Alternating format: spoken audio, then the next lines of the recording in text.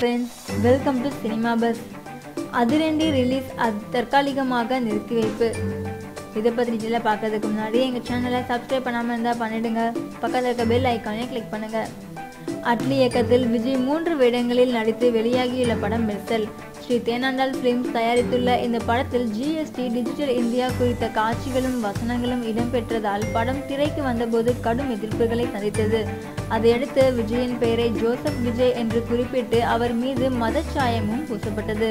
பின்னர் அவரும் தான் வெளியிட்ட அறிக்கையில் ஜோசப் விஜய் என்று குறிப்பிட்டிருந்தார். இப்படியாக ஒரு பத்து நாட்களாக மெர்சலுக்கு எதிர்ப்பு அலையடித்து பின்னர் ஓய்ந்தது இதன் காரணமாக மெர்சல் படத்தின் தெலுங்கு பதிப்பான அதிரண்டிக்கு எதிர்பார்ப்பு எகிரியது அதனால் ஏற்கனவே திட்டமிட்டதை விடவும் அதிகப்படியான தியேட்டர்களில் படத்தை வெளியிட தயாரானார்கள்.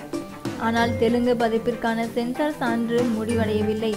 இதன் காரணமாக அதிரண்டியை ரிலீஸ் பண்ணியிருந்தவர்களுக்கு ஒரு சிறிய கேப் கொடுத்துவிட்டு சான்றிதழ் வந்த பிறகு படத்தை வெளியிடுவது குறித்து முடிவு செய்யலாம் என்று தணிக்கை சான்றிதழுக்காக காத்திருக்கிறார்கள். இந்த வீடியோ பற்றி நீங்கள் என்ன நினைக்கிறீங்கிறத கீழே கமெண்ட் பண்ணுங்கள் பிடிச்சிருந்தா லைக் பண்ணுங்கள் ஃப்ரெண்ட்ஸுக்கும் ஷேர் பண்ணுங்கள்